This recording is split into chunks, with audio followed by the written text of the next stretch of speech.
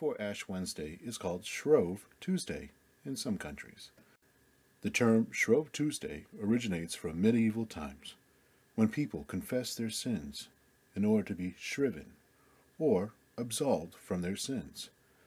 Many Christians would make a special point of self examination on this day to see what they needed to do to get their lives in order during Lent. Shrove Tuesday also became a feast of pancakes, traditionally held the day before Wednesday. People would make pancakes as a way to use up their supplies of fat, butter, and eggs. These foods at one time were forbidden during Lent, especially in the Eastern rites of the Catholic Church. In England, perhaps the best known custom is the traditional Pancake Day race. Allegedly, it began when a woman cooking pancakes heard the Shrove Tuesday bell begin to chime.